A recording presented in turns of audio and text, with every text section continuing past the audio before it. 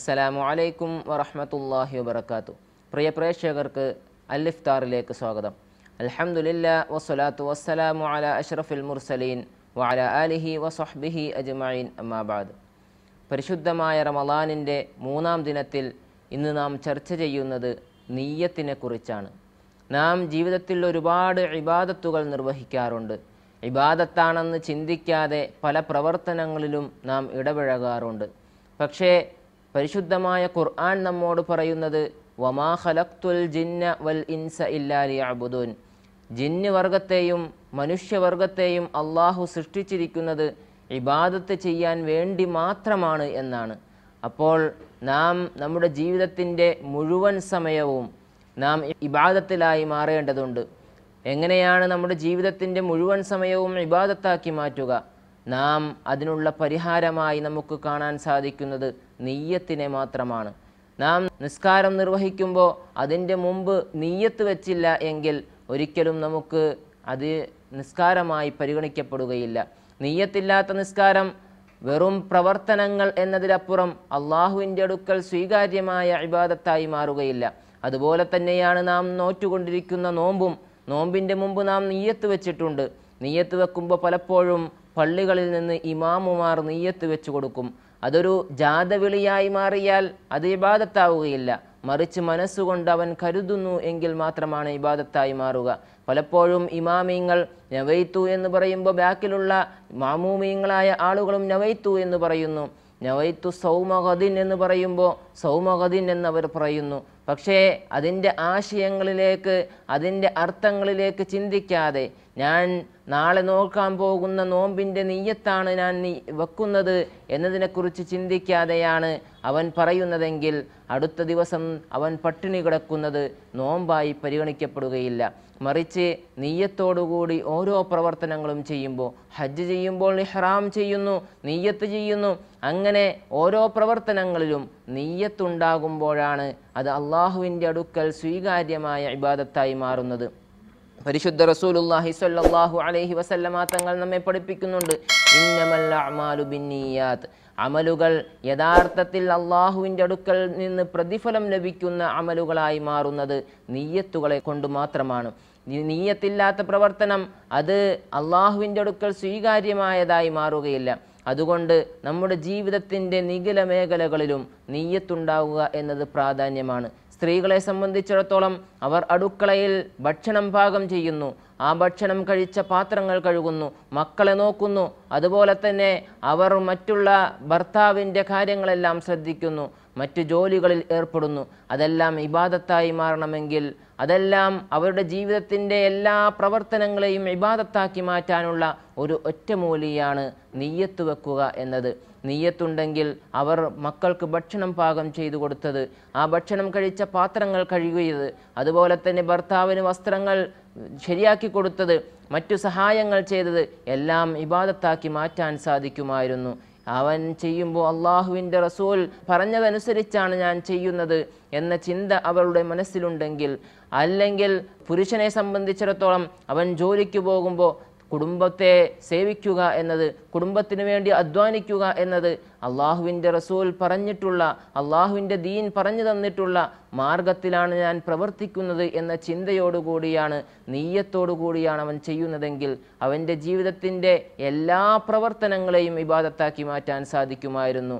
എന്നാൽ നാം ഓരോ പ്രവർത്തനങ്ങൾ ചെയ്യുന്നതിന്റെ മുമ്പും ഞാൻ ഇന്നത് അള്ളാഹുവിന്റെ ഇഷ്ടത്തിന് വേണ്ടി പ്രവർത്തിക്കുന്നു എന്ന നെയ്യത്ത് ഉണ്ടായിരുന്നെങ്കിൽ നമ്മുടെ ജീവിതത്തിൽ തെറ്റുകൾ സംഭവിക്കാതിരിക്കാനും അത് കാരണമാകുമായിരുന്നു. ഒരു തെറ്റ് ചെയ്യാൻ പോകുന്ന സമയത്ത് നമുക്കൊരിക്കലും അള്ളാഹുവിന്റെ തൃപ്തിക്ക് വേണ്ടി എന്നതിനെക്കുറിച്ച് ചിന്തിക്കാൻ സാധിക്കുകയില്ല. അതുപോലെ ഒരു തിന്മ പറയാൻ പോകുമ്പോൾ ആ പറയുന്നത് അള്ളാഹുവിന്റെ തൃപ്തിക്ക് വേണ്ടി എന്ന് ചിന്തിക്കാൻ സാധിക്കുകയില്ല. മറിച്ച് നാം ചെയ്യുന്ന ഓരോ പ്രവർത്തനങ്ങളിലും നെയ്യത്തിനെ നാം കരുതുമ്പോൾ നന്മകളിലേക്ക് അടുക്കാനും തിന്മകളിൽ നിന്ന് വിട്ടുനിൽക്കാനുമുള്ള ഒരു പ്രേരണ കൂടി ആ നെയ്യത്തിലൂടെ നമുക്ക് സാധ്യമാവുകയാണ്. പരിശുദ്ധ റസൂലുള്ളാഹി സ്വല്ലല്ലാഹു അലൈഹി വസല്ലമ തങ്ങളുടെ ജീവിതം നിങ്ങൾ നോക്കൂ. ഓരോ പ്രവർത്തനങ്ങളിലും അള്ളാഹുവിന്റെ റസൂൽ സഹായിച്ചിരുന്നു. ഭാര്യമാരെ സഹായിച്ചിരുന്നു. ഭാര്യമാർക്ക് വേണ്ട അടുക്കള ജോലികളിൽ വരെ അള്ളാഹുവിന്റെ റസൂൽ സഹായിച്ചിരുന്നു. പക്ഷേ അള്ളാഹുവിന്റെ റസൂൽ നമുക്ക് കാണിച്ചു തന്ന ആ മാർഗത്തെ ഇന്ന് നാം പിന്തുടരുന്നില്ല എന്നതാണ് നമുക്ക് പരാജയങ്ങൾ സംഭവിക്കാനുള്ള കാരണം. അള്ളാഹുവിന്റെ റസൂൽ എന്ത് തന്നെയാണെങ്കിലും ജീവിതത്തിൽ മുഴുവൻ ഇബാദത്ത് നിർവഹിച്ചവരാണ്. അള്ളാഹു പറഞ്ഞ ഇബാദത്ത് ചെയ്യാൻ വേണ്ടിയാണ് നിങ്ങളെ സൃഷ്ടിച്ചിട്ടുള്ളത് എന്ന് പറഞ്ഞ ആ ആയത്തിന്റെ അർത്ഥങ്ങളിൽ പരിപൂർണമായും നീതി പുലർത്തുന്ന ആളാണ് റസൂലുല്ലാഹി സ്വല്ലല്ലാഹു അലൈഹി വസല്ലമ തങ്ങൾ. ആ ജീവിതത്തിൽ അള്ളാഹുവിന്റെ റസൂൽ സല്ലാഹു അലൈഹി വസല്ലമ തങ്ങളുടെ തിരുജീവിതത്തിൽ ഭാര്യമാരെ സഹായിച്ചിട്ടുണ്ടെങ്കിൽ അടിച്ചു വാരിയിട്ടുണ്ടെങ്കിൽ സ്വന്തം ചെരുപ്പുകൾ തുന്നിയിട്ടുണ്ടെങ്കിൽ ആ പ്രവർത്തനങ്ങളെയെല്ലാം ഇബാദത്താക്കി മനസ്സിലാക്കാൻ സാധിക്കും. അവിടെ നമുക്ക് പറ്റിയ ഏറ്റവും വലിയ പരാജയം നാം നമ്മുടെ ജീവിതത്തിൽ ഇതൊക്കെ ചെയ്യാൻ തയ്യാറായാൽ പോലും നെയ്യത്തിന് വെക്കുന്നില്ല നെയ്യത്ത് ചെയ്യാൻ നാം മനസ്സിൽ കരുതുന്നില്ല എന്നതാണ് നമുക്ക് പറ്റിയ ഏറ്റവും വലിയ പരാജയം. അതുകൊണ്ട് നമ്മുടെ ജീവിതത്തിൽ എന്ത് പ്രവർത്തനങ്ങൾ ചെയ്യുമ്പോഴും നെയ്യത്തുണ്ടാവാൻ നാം ശ്രദ്ധിക്കണം. സൂലുല്ലാഹി സല്ലാഹു അലൈഹി വസല്ലമ തങ്ങളുടെ ജീവിതത്തിൽ ഏറ്റവും പ്രയാസകരമായ സമയമുണ്ടായിരുന്നു. എല്ലാ മക്കാരും പ്രയാസപ്പെടുത്തുന്ന സമയം അക്രമങ്ങൾ അഴിച്ചുവിട്ട സമയം മക്കയിൽ നിൽക്കാൻ കഴിയാതെ നബിയും സ്വഹാബത്തും മക്കയിൽ നിന്ന് മദീനയിലേക്ക് പാലായനം ചെയ്യേണ്ടി വന്ന അവസരം. ആ സമയത്ത് റസൂലുള്ളാഹി സ്വല്ലല്ലാഹു അലൈഹി വസല്ലമ തങ്ങൾ എല്ലാ കുടുംബങ്ങളെയും എല്ലാ സമ്പത്തിനെയും ഭൗതികമായ എല്ലാ സൗകര്യങ്ങളെയും ഉപേക്ഷിച്ചുകൊണ്ട് മക്കയിൽ നിന്ന് മദീനയിലേക്ക് പോകുമ്പോൾ അള്ളാഹുവിന്റെ റസൂൽ സല്ലല്ലാഹു അലൈ വസല്ലമ തങ്ങളോടൊപ്പം ഒരുപാട് സ്വഹാബാക്കളും ഉണ്ടായിരുന്നു. അങ്ങനെ സ്വഹാബാക്കളുമായി യാത്ര ചെയ്യുമ്പോൾ അള്ളാഹുവിന്റെ റസൂൽ സല്ലല്ലാഹു അലൈ വസല്ലമ തങ്ങൾ പറഞ്ഞ ഹദീസ് ഏറ്റവും പ്രാധാന്യത്തോടു കൂടി നാം മനസ്സിലാക്കേണ്ടതുണ്ട്. അള്ളാഹുവിന്റെ റസൂൽ പറഞ്ഞ ഹദീസ് ഇന്നമൽ അഅമാലു ബിന്നിയാത്ത് ഇമ്മാനവ ഫമൻ കാനത്ത് ഹിജറത്തുഹു ഇലല്ലാഹി വറസൂലിഹി ഫഇലല്ലാഹി വറസൂലി നിങ്ങളിൽ ആരെങ്കിലും ഹിജറ പോകുന്നത് അള്ളാഹുവിലേക്കും റസൂലിലേക്കുമാണെങ്കിൽ അത് അള്ളാഹുവിലേക്കും റസൂലിലേക്കുമായി സ്വീകരിക്കപ്പെടും. അല്ല നിങ്ങൾ യാത്ര പോകുന്നത് നിങ്ങൾ ഹിജറ പോകുന്നത് അള്ളാഹുവിന്റെ പ്രീതി കാംക്ഷിക്കാതെ ഏതെങ്കിലും ഒരു സ്ത്രീയെ വിവാഹം ചെയ്യണം. ഞാൻ ഇഷ്ടപ്പെട്ട സ്ത്രീ ഹിജറ പോകുന്നുണ്ട്. അവൾ വിവാഹം ചെയ്യണമെങ്കിൽ ആ ഹിജറ പോകുന്ന ആളുകളോടൊപ്പം പോകണം എന്ന ചിന്തയോടുകൂടിയാണെങ്കിൽ അല്ലെങ്കിൽ മദീനയിൽ നല്ല കച്ചവട സാധ്യതയുണ്ട്. അവിടെ ഒരുപാട് ആളുകളുണ്ട്. അവിടെ ചെന്നാൽ എന്റെ കച്ചവടം നന്നായി ഉഷാറാക്കാൻ സാധിക്കും എന്ന ചിന്തയോടുകൂടിയാണെങ്കിൽ അവർ എന്തിനു വേണ്ടിയാണോ പോയത് അത് സാധ്യമാകും എന്നല്ലാതെ അള്ളാഹുവിലേക്കും അള്ളാഹുവിന്റെ റസൂലിലേക്കും അതായത് അവരുടെ പ്രീതി കാംക്ഷിച്ചുകൊണ്ടുള്ള ഹിജറ സാധ്യമാവുകയില്ല എന്ന് റസൂലുല്ലാഹി സ്വല്ലല്ലാഹു അലൈഹി വസല്ലമ തങ്ങൾ ചുരുക്കി പറഞ്ഞാൽ നമ്മുടെ ജീവിതത്തിന്റെ എല്ലാ പ്രവർത്തനങ്ങളെയും ഇബാദത്താക്കി മാറ്റാം. നാം ഒരാളെ സഹായിക്കുന്നത് ഇബാദത്താക്കി മാറ്റാം. നാം ഒരാൾക്ക് ചെറിയ ചെറിയ ഹെൽപ്പുകൾ ചെയ്യുന്നത് പോലും ഇബാദത്താക്കി മാറ്റാം. നമ്മുടെ വീടുകളിൽ സഹോദരങ്ങൾ പരസ്പരം സഹായിക്കുമ്പോൾ അത് ഇബാദത്താക്കി മാറ്റാം. നമ്മുടെ അയൽവാസികളോട് നല്ല രീതിയിൽ സംസാരിക്കുമ്പോൾ നമുക്ക് ഇബാദത്താക്കി മാറ്റാം. അങ്ങനെ ജീവിതത്തിൽ ചെയ്യുന്ന ചെറിയ കാര്യങ്ങൾ പോലും നമുക്ക് ഇബാദത്താക്കി മാറ്റാൻ സാധിക്കും. നമ്മുടെ സഹോദരനെ കാണുമ്പോൾ പ്രസന്നവദനായി കാണുക എന്നതുപോലും ഇബാദത്താണ്. അതൊരു സ്വതക്കയാണ് എന്ന് ഷഫീഉന റസൂലുള്ളാഹി സ്വല്ലാഹു അലൈഹി വസല്ലം പുഞ്ചിരി പോലും സ്വതക്കയാണെന്ന് പഠിപ്പിച്ച പരിശുദ്ധ റസൂലുല്ലാഹി സ്വല്ലല്ലാഹു അലൈഹി വസല്ലമ തങ്ങളുടെ അനുയായികളാണ് നാം. അതുകൊണ്ട് നമ്മുടെ ജീവിതത്തിന്റെ ചെറിയ ചെറിയ നന്മകളെ പോലും നമ്മൾ വലുതായി മനസ്സിലാക്കി. ആ നന്മകൾ ഒരുപക്ഷെ നാളെ ഖിയാമത്ത് നാളിൽ ആരും സഹായിക്കാനില്ലാതിരിക്കുമ്പോൾ നന്മ തിന്മകൾ മീസാൻ എന്ന തുലാസിൽ വെച്ച് തൂക്കുമ്പോൾ നന്മകളുടെ ഭാരവും തിന്മകളുടെ ഭാരവും തുല്യമായി മാറിയാൽ ഒരുപക്ഷെ നാം ചെയ്യുന്ന ഒരു പുഞ്ചിരിയായിരിക്കും. ഒരുപക്ഷെ നാം നമ്മുടെ സഹോദരന്റെ മുഖത്ത് നോക്കി പ്രസന്നവദനായി അവനോടൊന്ന് പുഞ്ചിരിച്ചതായിരിക്കും. ആ നന്മയുടെ കാരണത്താലായിരിക്കും നാം നന്മയുടെ ഭാരം തൂങ്ങി സ്വർഗത്തിന്റെ അവകാശിയായി മാറുന്നത്.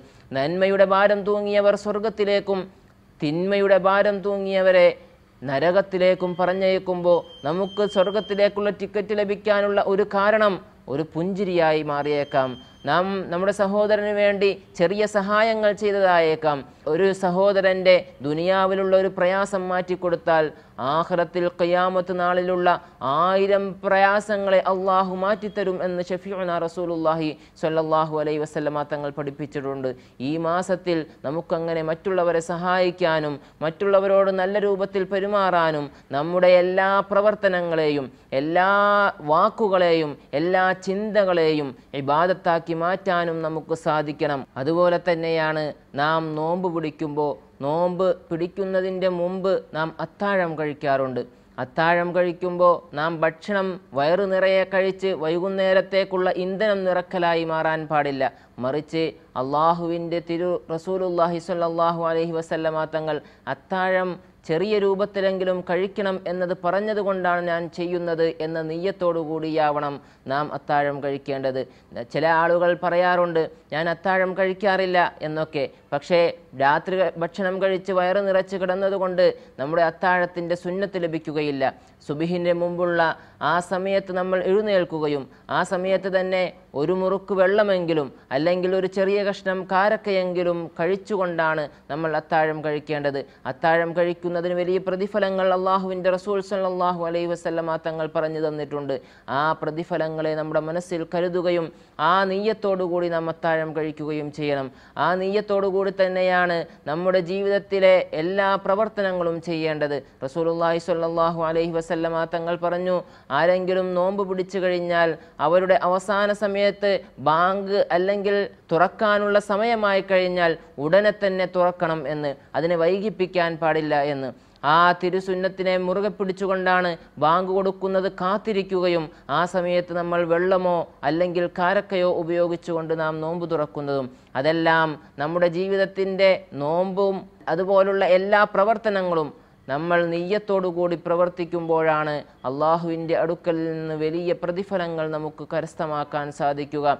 പരിശുദ്ധമായ റമദാനിന്റെ മൂന്നാമത്തെ ദിവസം നാം നോമ്പ് തുറക്കുമ്പോൾ ഈ സുന്നത്തുകളെ നമ്മുടെ ജീവിതത്തിൽ ഈ റമദാനിൽ ഞാൻ എന്തായാലും എന്റെ ഓരോ പ്രവർത്തനങ്ങളും ഞാൻ നെയ്യത്തോടു കൂടി ആക്കി മാറ്റും എന്ന ഒരു ദൃഢനിശ്ചയം എടുക്കാൻ നമുക്ക് സാധിക്കണം. ഓരോ പ്രവർത്തനങ്ങളും ഞാൻ ഈ റമദാനിൽ ശ്രദ്ധിക്കും. അങ്ങനെ മുപ്പത് ദിവസം നമുക്ക് തുടർച്ചയായി നെയ്യത്തോടു കൂടി എല്ലാ പ്രവർത്തനങ്ങളും ചെയ്യാൻ സാധിച്ചാൽ നമ്മുടെ ജീവിതത്തിൽ പിന്നീടുള്ള പതിനൊന്ന് മാസക്കാലവും നമുക്കത് ചെയ്യാൻ സാധിക്കും. അതിനുള്ളൊരു പരിശീലന സമയമായി നാം ഈ റമദാനിനെ ഉപയോഗപ്പെടുത്തണം. പരിശുദ്ധമായ റമദാനിന്റെ അടുത്ത ദിവസങ്ങളിലും നമുക്കിതുപോലുള്ള നല്ല സന്ദേശങ്ങളുമായി കണ്ടുമുട്ടാം. അള്ളാഹു തൗഫീഖ് നൽകി അനുഗ്രഹിക്കുമാറാവട്ടെ. അസ്സലാമു അലൈക്കും വറഹ്മത്തുള്ളാഹി വബറകാതുഹു.